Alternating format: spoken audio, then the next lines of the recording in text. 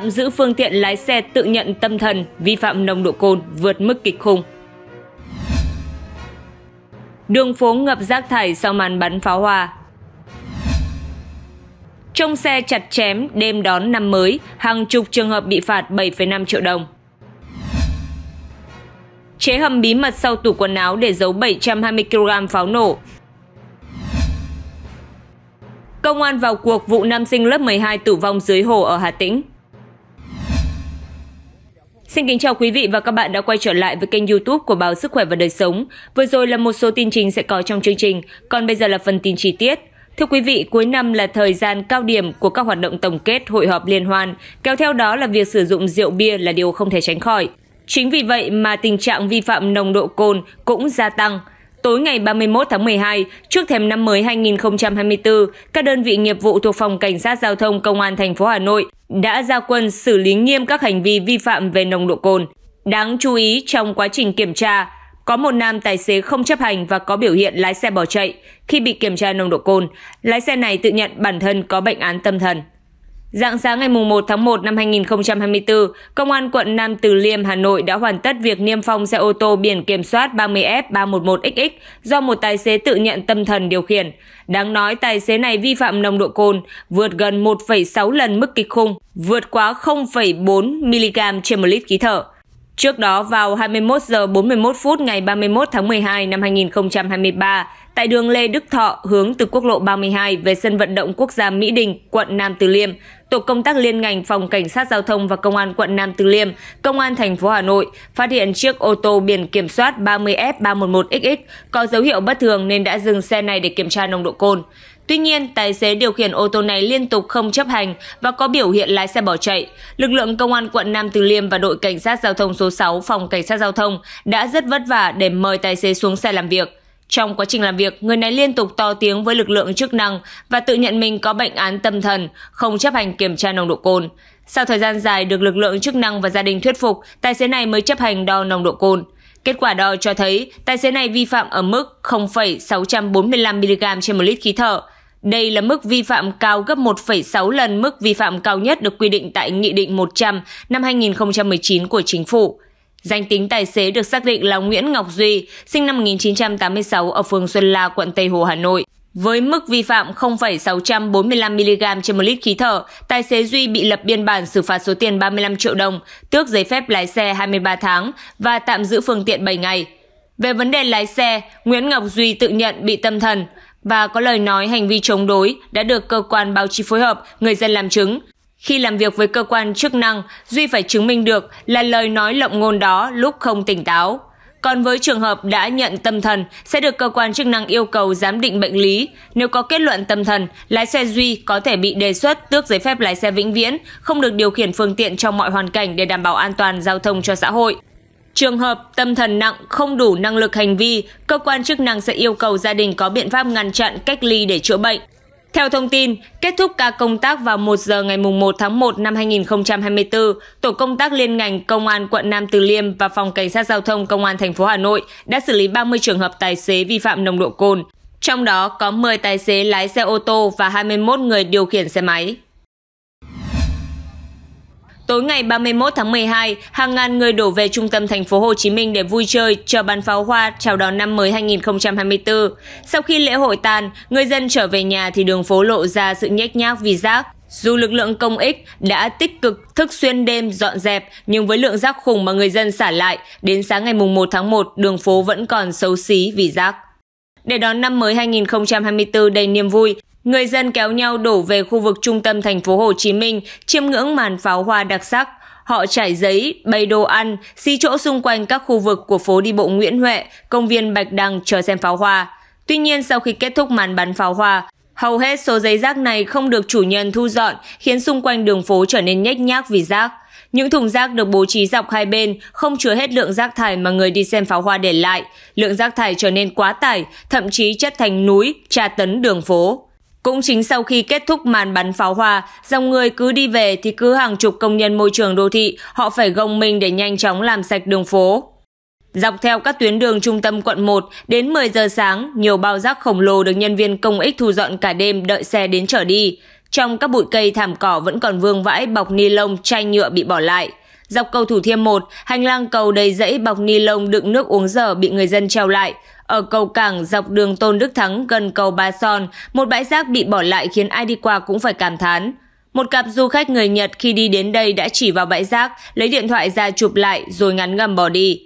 Trung tâm thành phố Hồ Chí Minh là nơi nhiều du khách trong và ngoài nước đến du lịch tham quan. Với những hình ảnh như vậy đã khiến cho thành phố xấu xí trong mắt bạn bè bốn phương. Rất nhiều người dân chứng kiến đều cho rằng cơ quan chức năng cần phạt nặng những người thiếu ý thức xả rác như vậy. Để phục vụ nhu cầu đi chơi đêm countdown của người dân, tối ngày 31 tháng 12, các bãi gửi xe tự phát mọc lên như nấm với giá cao gấp 8 lần so với ngày thường. Trước tình hình trên, Công an quận Hoàn Kiếm đã mặc thường phục tìm hiểu những trường hợp thu tiền gấp nhiều lần so với quy định, sau đó cảnh sát đến lập biên bản phạt. Ngày 1 tháng 1, Chỉ huy đội Cảnh sát Giao thông Trật tự Công an quận Hoàn Kiếm, Hà Nội thông tin về tình hình đảm bảo an ninh trật tự tại điểm cao đào, lễ hội đếm ngược chào đón năm mới và khu vực phụ cận quanh Hồ Gươm. Trong đó, đáng chú ý là các trường hợp trông giữ xe vi phạm. Từ đêm ngày 31 tháng 12 năm 2023 tới dạng sáng ngày 1 tháng 1 năm 2024, lực lượng chức năng thuộc Công an quận Hoàn Kiếm đã lập biên bản xử phạt 29 bãi trông giữ xe vi phạm, trong đó các lỗi chủ yếu là trông xe không phép, trông xe quá diện tích, vị trí so với giấy phép và thu không đúng với mức giá quy định. Đối với cơ sở trông giữ xe không phép, mức phạt là 2,5 triệu đồng. Trong khi đó, việc trông giữ xe không đúng với giấy phép bị phạt tương ứng với diện tích sai bị chiếm dụng, mức phạt trung bình 2,5 đến 7,5 triệu đồng. Đáng chú ý, nhiều trường hợp được ghi nhận thu giá tiền gấp nhiều lần so với quy định đã bị lực lượng mặc thường phục của Công an quận Hoàn Kiếm phát hiện. Khi nhận được tin báo của lực lượng này, cảnh sát công khai cùng các đơn vị chức năng có mặt để lập biên bản xử lý, mức phạt đối với hành vi này là 7,5 triệu đồng. Cùng thời điểm trên, Công an quận Hoàn Kiếm triển khai các phương án đảm bảo trật tự cho điểm cao đao tại quảng trường Đông Kinh Nghĩa Thục, phố đi bộ Hồ Gươm và khu phố cổ phụ cận. Lực lượng chức năng cho biết có hàng chục nghìn người đã đổ về các địa điểm trên để đón năm mới 2024 và không xảy ra tình huống bất thường gây mất an ninh trật tự. Các hàng quán, cơ sở kinh doanh giải trí cũng được kiểm soát chặt chẽ. Ba cơ sở kinh doanh khí cười bóng cười ở Hoàn Kiếm bị xử lý trong thời điểm trên. Ngày mùng 1 tháng 1 là ngày thứ hai, nhưng không gian phố đi bộ Hồ Gươm vẫn được duy trì để người dân và du khách vui chơi trong ngày đầu tiên của năm mới. Để chào năm mới 2024 và đón Tết Dương lịch, tại nhiều địa phương trên cả nước đã tổ chức các hoạt động thú vị hấp dẫn du khách để chào đón năm mới 2024. Trong đó, nhiều điểm đến của Hà Nội tổ chức các sự kiện hấp dẫn để thu hút du khách. Cụ thể, khu vực phố đi bộ và phụ cận thuộc quận Hoàn Kiếm sẽ kéo dài mở thêm một ngày để người dân và du khách vui chơi tham quan từ ngày 29 tháng 12 năm 2023 đến hết ngày 1 tháng 1 năm 2024. Trước đó, trong tối ngày 31 tháng 12, tại khu vực này có hai sân khấu diễn ra hoạt động nghệ thuật đặc sắc cùng chương trình cao đao đếm ngược tại khu vực quảng trường Đông Kinh Nghĩa Thục và quảng trường Cách mạng tháng 8. Du khách có thể trải nghiệm nhiều sản phẩm du lịch mới về đêm tại Hà Nội như tour đêm tại Hoàng thành Thăng Long, Văn Miếu Quốc Tử Giám, di tích nhà tù Hòa Lò. Khu vực ngoại thành Hà Nội cũng có nhiều điểm đến hấp dẫn du khách trong dịp nghỉ Tết Dương lịch. Sapa, Lào Cai dịp Tết Dương lịch cũng là một điểm đến của nhiều người dân. Du khách có thể chiêm ngưỡng những gốc anh đào trổ bông rực sắc hồng, săn băng tuyết và thưởng thức màn bắn pháo hoa tầm thấp kéo dài 15 phút vào tối nay để tiễn năm cũ, đón năm mới 2024. Sapa dự kiến đón trung bình khoảng 30.000 lượt khách du lịch mỗi ngày trong kỳ nghỉ Tết dương lịch. Tại thành phố Hồ Chí Minh, hàng loạt các hoạt động chào năm mới đã được tổ chức, đặc biệt là lễ hội đếm ngược cao đào vào tối 31 tháng 12 tại phố đi bộ Nguyễn Huệ. Các điểm bắn pháo hoa đêm giao thừa tại hai điểm đường, hầm sông Sài Gòn và công viên văn hóa Đầm Sen, quận 11 cũng đã chuẩn bị sẵn sàng. Ngoài ra, tuần lễ du lịch, lễ chào đón khách quốc tế đầu năm mới tại sân bay Tân Sơn Nhất tổ chức vào ngày 1 tháng 1. Du khách còn có thể tham quan trụ sở Ủy ban nhân dân thành phố Hồ Chí Minh và thưởng thức các chương trình biểu diễn nghệ thuật tại thành phố Thủ Đức và các quận huyện. Các sân khấu kịch, nhà hát, bảo tàng cũng mở cửa đón khách với nhiều hoạt động phong phú. Còn tại Đà Nẵng cũng có nhiều hoạt động vui chơi giải trí và các điểm check-in thú vị phục vụ người dân và du khách. Thành phố đã lắp đặt 3 điểm check-in ở các địa điểm công cộng. Tối nay, chương trình nghệ thuật cao đào Đà Nẵng 2024 sẽ diễn ra tại khán đài pháo hoa dọc đường Trần Hưng Đạo, thành phố Đà Nẵng. Thành phố Cần Thơ là đô thị trung tâm, cửa ngõ của vùng đồng bằng sông Cửu Long. Vào những dịp lễ Tết, nơi đây có nhiều hoạt động sôi nổi hấp dẫn để phục vụ người dân và du khách gần xa. Đặc biệt dịp Tết Dương lịch trùng với thời điểm thành phố Cần Thơ kỷ niệm 20 năm trực thuộc Trung ương nên sẽ có một chuỗi các hoạt động chào mừng. Hương sắc Tây Đô là chủ đề của phần biểu diễn nghệ thuật phục vụ nhân dân với sự tham gia của đông đảo nghệ sĩ đến từ thành phố Hồ Chí Minh và Cần Thơ. Một trong những hoạt động về văn hóa du khách khó có thể bỏ qua là lễ hội Kỳ Yên Thượng Điền Đình Thần Tân An, quận Ninh Kiều. Đây là lễ hội được tổ chức hàng năm mang đậm bản sắc văn hóa truyền thống của vùng đất Nam Bộ, cầu mưa thuận gió hòa, mùa màng tươi tốt. Lễ hội năm nay được thực hiện đầy đủ các nghi thức gồm thỉnh sắc linh thần Tân An du ngoạn, lễ cúng thần nông, vạn ban ngũ hành, xây trầu đại bội, lễ tranh tế. Nếu du khách yêu thích trải nghiệm sông nước miệt vườn, có thể du ngoạn bằng tàu. Hành trình khám phá chợ nổi Cái Răng đón khoảnh khắc bình minh nơi đây. Đồng thời trên tuyến còn có nhiều điểm du lịch có tính trải nghiệm cao. Từ ngày 1 tháng 1 năm 2024, có nhiều chính sách mới sẽ có hiệu lực, trong đó có việc Thông tư 66 năm 2023 sửa đổi bổ sung một số thông tư liên quan đến đăng ký cư trú vừa được Bộ Công an ban hành. Thông tư 66 năm 2023 sửa đổi bổ sung một số thông tư liên quan đến đăng ký cư trú vừa được Bộ Công an ban hành. Theo quy định tại thông tư 66 năm 2023 của Bộ Công an, các hình thức tiếp nhận hồ sơ đăng ký cư trú từ ngày 1 tháng 1 năm 2024 gồm hai cách. Trực tiếp tại cơ quan đăng ký cư trú hoặc online qua cổng dịch vụ công, dịch vụ công trực tuyến khác hoặc qua ứng dụng VNEID. Trong khi đó, quy định cũ chỉ quy định các hình thức tiếp nhận hồ sơ đăng ký cư trú, gồm thực hiện trực tiếp tại cơ quan đăng ký cư trú hoặc thực hiện online thông qua cổng dịch vụ công quốc gia hoặc của Bộ Công an hoặc quản lý cư trú. Ngoài ra, người dân còn có thể phản ánh thông tin về cư trú của công dân, hộ gia đình và xác nhận thông tin về cư trú thông qua ứng dụng VNEID. Như vậy, thay vì đến tận đơn vị cơ quan chức năng để đăng ký, thì giờ đây người dân có thể thực hiện thủ tục đó ngay trên ứng dụng VNEID, sẽ phần nào rút gọn thời gian cũng như thủ tục trước đó. Vừa qua, Ủy ban nhân dân thành phố Hà Nội đã ban hành văn bản về việc thực hiện số hóa hồ sơ, kết quả giải quyết thủ tục hành chính trong năm 2024. Theo đó, từ ngày 2 tháng 1 năm 2024, Hà Nội số hóa toàn trình 100% thủ tục hành chính. Cụ thể, Ủy ban nhân dân thành phố Hà Nội chỉ đạo các sở, ban ngành, Ủy ban nhân dân các quận huyện thị xã triển khai thực hiện luân chuyển toàn trình hồ sơ đầu vào đối với 100% hồ sơ thủ tục hành chính Thủ tục hành chính liên thông trên hệ thống thông tin giải quyết thủ tục hành chính của thành phố từ ngày 2 tháng 1 năm 2024. Thực hiện việc ký số của người có thẩm quyền giải quyết thủ tục hành chính, cấp kết quả giải quyết thủ tục hành chính bằng bản điện tử kết hợp với bản giấy, số hóa các hồ sơ liên thông giải quyết thủ tục hành chính từ ngày 2 tháng 1 năm 2024. Ủy ban Nhân dân thành phố giao Giám đốc Sở, cơ quan tương đương Sở tổ chức ra soát, lựa chọn và tham mưu trình Chủ tịch Ủy ban Nhân dân thành phố ban hành danh mục các thành phần hồ sơ cần số hóa theo yêu cầu quản lý theo quy định trước ngày 30 tháng 1 năm 2024. Văn phòng Ủy ban Nhân dân thành phố được giao theo dõi, đôn đốc, hướng dẫn các đơn vị trong quá trình triển khai việc số hóa hồ sơ, kết quả giải quyết thủ tục hành chính trên hệ thống thông tin giải quyết thủ tục hành chính của thành phố để tổng hợp báo cáo Ủy ban Nhân dân thành phố. Ủy ban Nhân dân thành phố cũng giao Sở Thông tin và Truyền thông tiếp tục hoàn thiện tính năng số hóa kho dữ liệu cá nhân trên hệ thống thông tin giải quyết thủ tục hành chính của thành phố. Qua đó, đánh giá các tính năng của hệ thống bảo đảm việc triển khai số hóa hồ sơ, kết quả giải quyết thủ tục hành chính theo quy định, kịp thời phối hợp, hướng dẫn, hỗ trợ kỹ thuật các đơn vị trong quá trình triển khai số hóa hồ sơ, kết quả giải quyết thủ tục hành chính trên hệ thống thông tin giải quyết thủ tục hành chính của thành phố. Bước sang năm 2024, nhiều chính sách và quy định mới của pháp luật sẽ chính thức có hiệu lực, trong đó luật khám bệnh, chữa bệnh sửa đổi chính thức có hiệu lực từ ngày 1 tháng 1 năm 2024, với nhiều điểm mới áp dụng cho người hành nghề khám chữa bệnh, cơ sở khám chữa bệnh, bệnh nhân và việc hỗ trợ học phí với một số chuyên ngành. Cụ thể những điểm mới mà người dân cần lưu ý là gì? Mời quý vị cùng theo dõi ngay sau đây.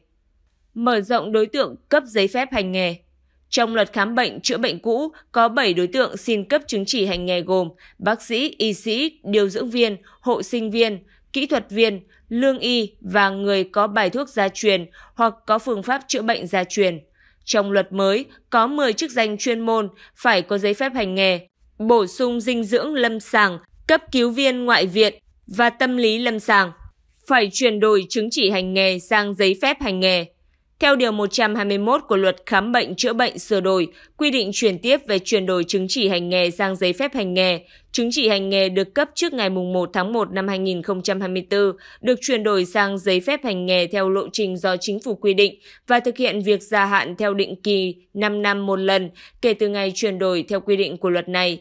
Theo Điều 27 của luật này, mỗi người hành nghề chỉ được cấp một giấy phép hành nghề có giá trị trong phạm vi toàn quốc. Giấy phép hành nghề có thời hạn 5 năm, quy định cập nhật kiến thức y khoa là một trong các điều kiện để gia hạn giấy phép hành nghề.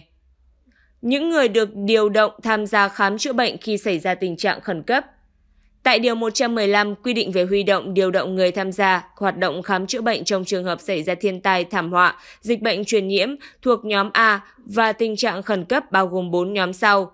Người hành nghề khám chữa bệnh bao gồm cả người nước ngoài đang hành nghề tại Việt Nam, người nước ngoài, người Việt Nam định cư ở nước ngoài đã được cơ quan tổ chức có thẩm quyền của nước ngoài cấp giấy phép hành nghề.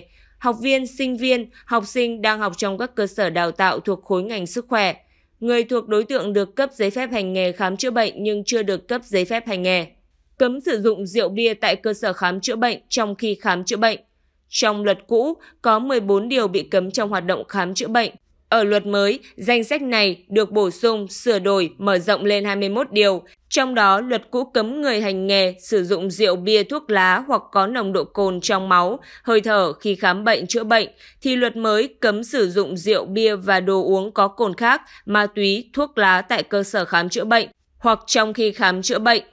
Luật cũ cấm đưa, nhận, môi giới hối lộ trong khám chữa bệnh, luật mới cấm có hành vi nhũng nhiễu trong khám chữa bệnh. Thay đổi 4 tuyến chuyên môn thành 3 cấp, nếu trong luật cũ, hệ thống cơ sở khám chữa bệnh của nhà nước bao gồm 4 tuyến, trung ương, tỉnh, huyện, xã, thì trong luật mới, cấp chuyên môn kỹ thuật trong khám chữa bệnh nhà nước tư nhân gồm cấp khám chữa bệnh ban đầu, cấp khám chữa bệnh cơ bản, cấp khám chữa bệnh chuyên sâu. 6 chuyên ngành được hỗ trợ toàn bộ học phí, chi phí sinh hoạt toàn khóa học. Tại Điều 105, luật quy định nhà nước hỗ trợ đối với người học chuyên ngành, tâm thần, giải phẫu bệnh, pháp y, pháp y tâm thần, truyền nhiễm và hồi sức cấp cứu. Theo đó, nếu học tại cơ sở đào tạo thuộc khối ngành sức khỏe của nhà nước sẽ được hỗ trợ toàn bộ học phí và hỗ trợ chi phí sinh hoạt trong toàn khóa học, hỗ trợ tiền đóng học phí và hỗ trợ chi phí sinh hoạt trong toàn khóa học tương ứng với mức quy định nếu học tại cơ sở đào tạo thuộc khối ngành sức khỏe của tư nhân hàng vạn người dân đổ ra đường chào đón giao thừa cũng là lúc các tổ công tác liên ngành 141 cảnh sát giao thông bắt đầu công việc xuyên đêm đảm bảo an ninh trật tự, an toàn giao thông. Từ 21 giờ tối ngày 31 tháng 12, các tổ công tác liên ngành 141 Công an thành phố Hà Nội bắt đầu vào ca trực của mình. Theo kế hoạch, các tổ công tác sẽ lập chốt tại tuyến đường lớn của thủ đô, kiên quyết xử lý các vi phạm về an toàn giao thông và an ninh trật tự. Tổ công tác Y6141 do Thiếu tá Hoàng Văn Bình, Phó đội trưởng đội cảnh sát giao thông đường bộ số 6, phòng cảnh sát giao thông thành phố Hà Nội làm tổ trưởng, lập chốt tại đường Yên Phụ, quận Ba Đình, Hà Nội, có nhiệm vụ xử lý các trường hợp thanh niên lạng lách đánh võng và các hành vi liên quan đến chất kích thích, nồng độ cồn là một trong những nguyên nhân gây ra tai nạn giao thông. Chỉ ít phút sau khi triển khai, tổ công tác Y6141 đã phát hiện và xử lý nhiều trường hợp thanh niên tham gia giao thông không đội mũ bảo hiểm, cố tình phóng nhanh để thoát khỏi sự kiểm tra của lực lượng chức năng. Bằng các biện pháp nghiệp vụ, các trường hợp này đều bị khống chế và tiến hành kiểm tra, xử lý theo quy định của pháp luật. Trường hợp thiếu niên NGB sinh năm 2006, trú tại huyện Đông Anh, điều khiển xe máy không đội mũ bảo hiểm, không có giấy phép lái xe và đăng ký xe. Sau khi bị lực lượng chức năng ra hiệu lệnh dừng xe, B đã cố tình bỏ chạy. Được hỏi về hành vi của mình, B cho biết, bọn em đi từ Đông Anh đến Bảo Hồ để xem sự kiện cao đao. Thấy các chú công an bọn em sợ quá nên bỏ chạy. Bọn em chưa có bằng lái xe, nhưng vì hôm nay là ngày vui nên em cố lấy xe của bố mẹ để đi chơi. Ngoài kiểm tra các trường hợp xe máy, lực lượng cảnh sát giao thông cũng liên tục kiểm tra nồng độ cồn của các tài xế ô tô. Trong đêm ngày 31 tháng 12, mặc dù kiểm tra hàng trăm xe nhưng không phát hiện trường hợp vi phạm nồng độ cồn. Đáng chú ý, trong quá trình thực hiện nhiệm vụ, tổ công tác 141 đã phát hiện hai trường hợp xe máy mang biển số giả. Thiếu tá Hoàng Văn Bình cho biết, từ nay đến Tết Nguyên đán, ngoài các chốt công khai, các tổ công tác 141 còn triển khai lực lượng hóa trang thường phục, tuần tra trên các tuyến phố để kịp thời phát hiện, chấn áp các trường hợp thanh thiếu niên tham gia lạng lách, đánh võng, gây rối an ninh trật tự trên địa bàn. Nối tiếp chương trình sẽ là một số thông tin đáng chú ý khác mà chúng tôi vừa cập nhật được. Mời quý vị cùng theo dõi ngay sau đây.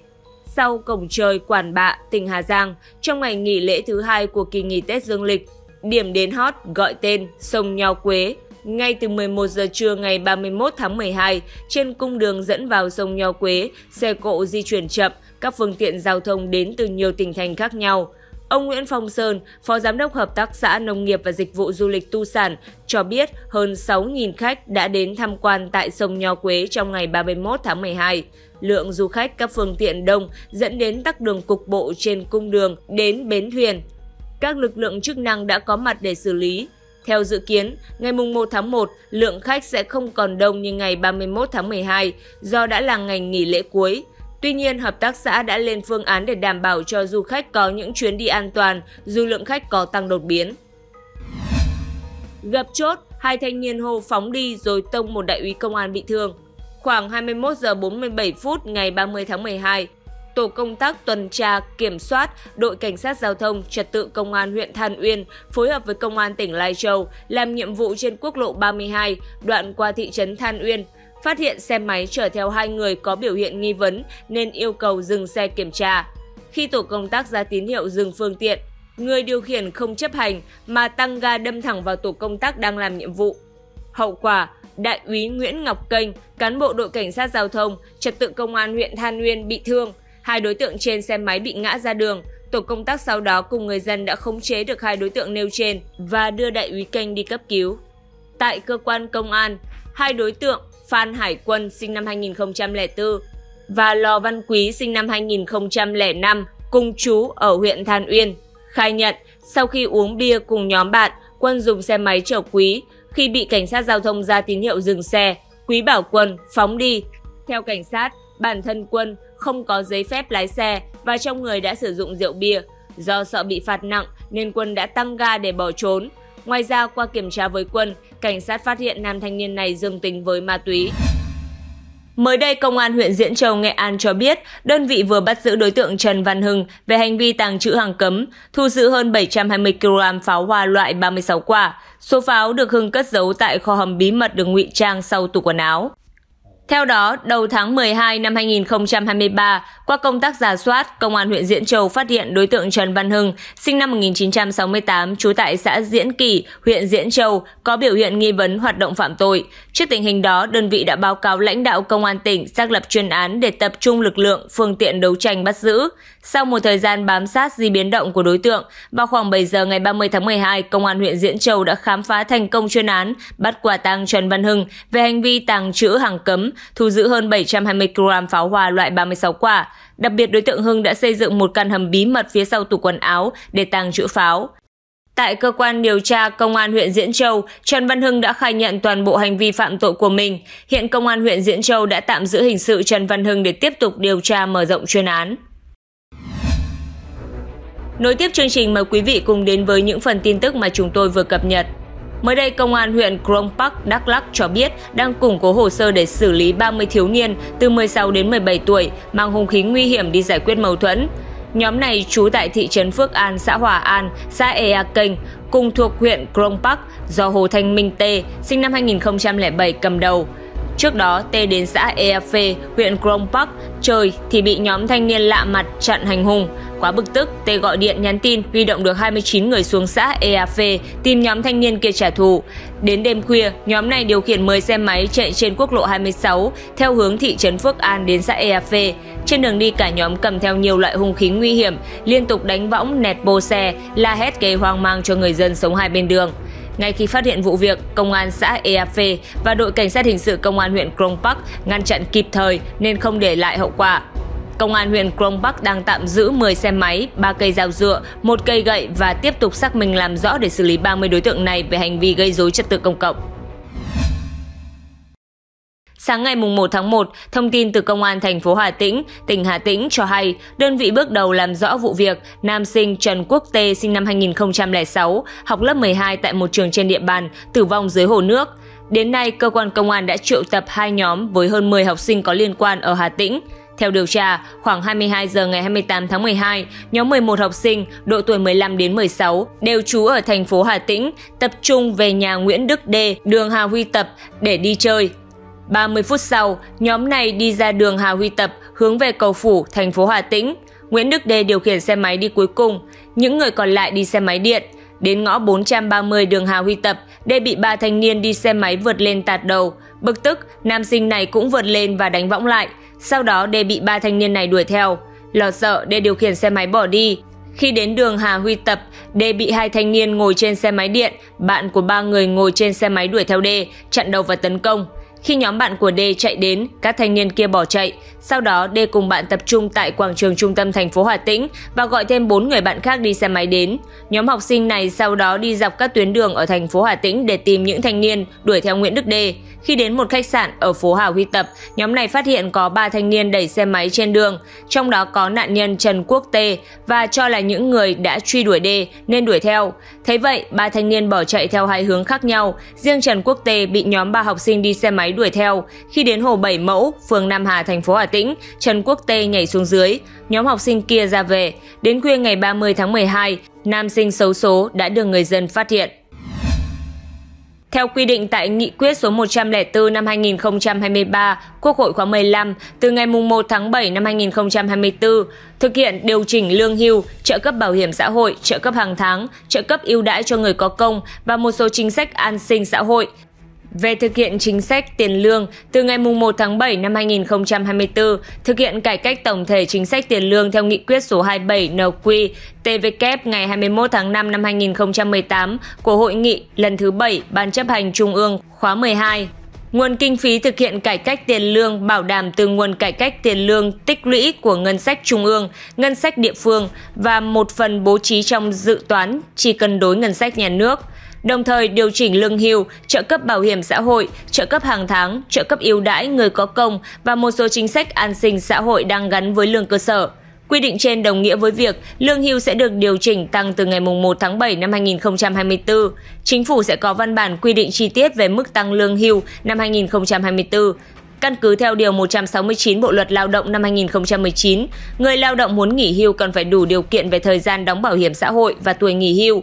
Theo đó, tuổi nghỉ hưu của người lao động trong điều kiện lao động bình thường được điều chỉnh theo lộ trình cho đến khi đủ 62 tuổi đối với lao động nam vào năm 2028 và đủ 60 tuổi đối với lao động nữ vào năm 2035.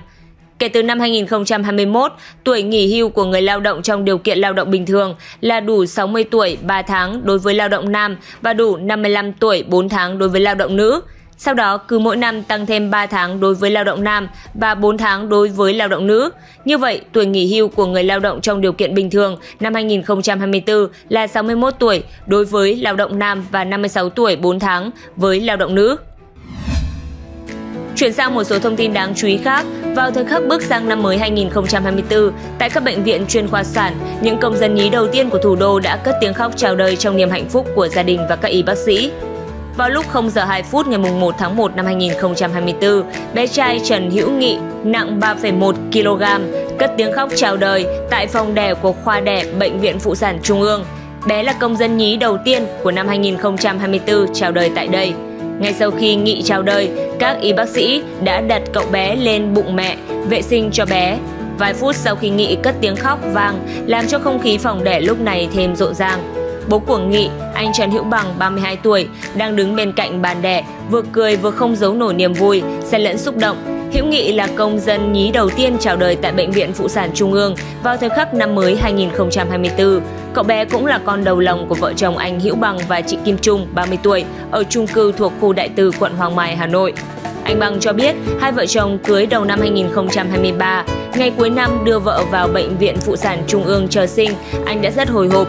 Ngay sau khi Nghị chào đời, tại phòng mổ của Bệnh viện Phụ sản Trung ương, ekip bác sĩ đã tiến hành mổ đẻ cho công dân nhí thứ hai của năm 2024.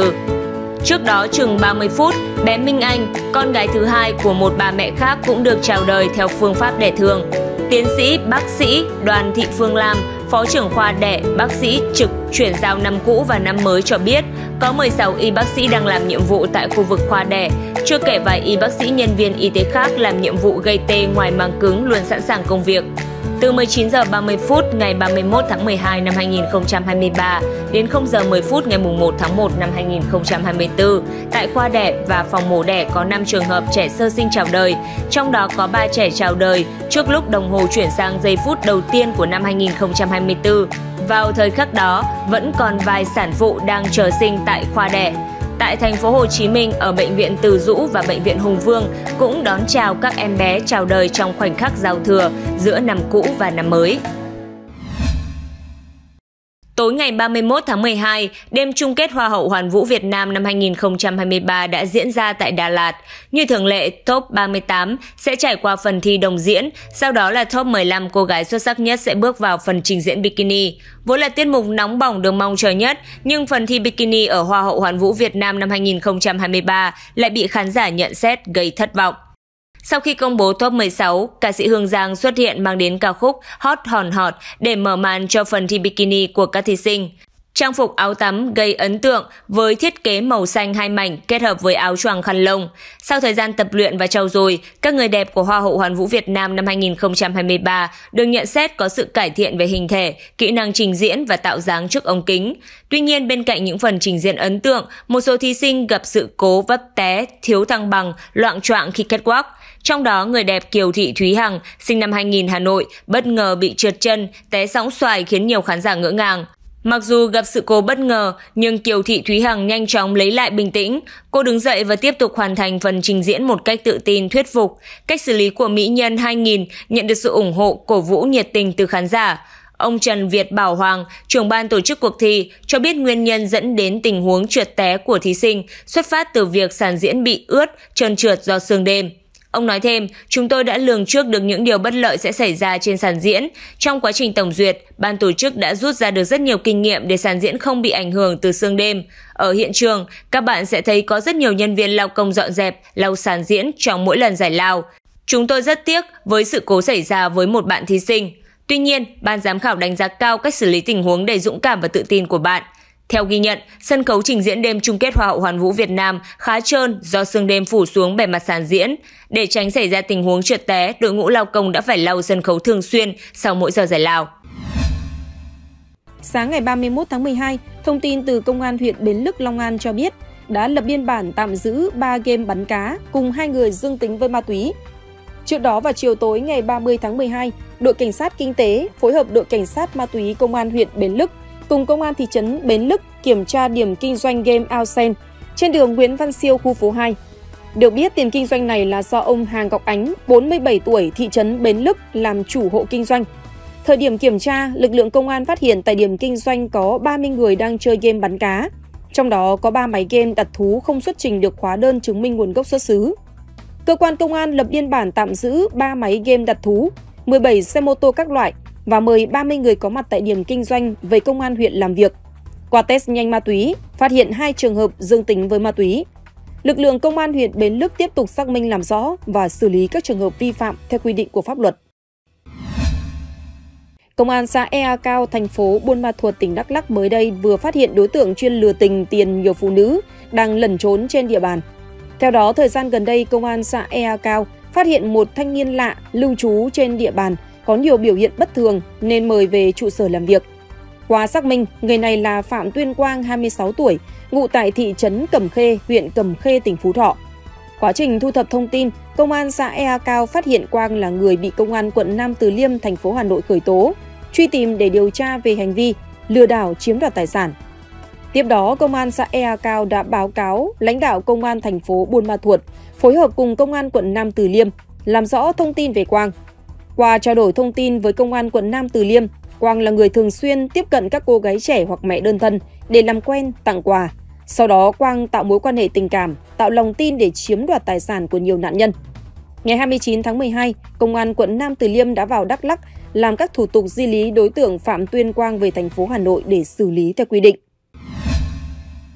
Sáng ngày 31 tháng 12, khi đoàn tàu SE4 Sài Gòn Diêu Trì chạy khỏi ga Diêu Trì Tiếp viên toa số 4 thuộc đoàn tiếp viên đường sắt phương Nam, Lê Thanh Huệ, trong lúc làm vệ sinh trong toa đã phát hiện một chiếc ví màu đen nghi hành khách bỏ quên.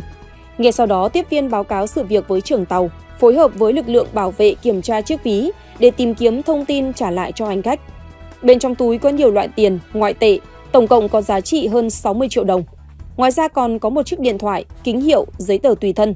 Qua quá trình xác minh, tổ tàu xác định số tài khoản trên là của hành khách Nguyễn Cao Hoàng Trương. Do đã xuống tàu nên người này mong muốn tổ tàu gửi lại tài sản tại ga Bồng Sơn Bình Định để gửi tàu sớm nhất về ga Diêu Trì cho khách nhận lại.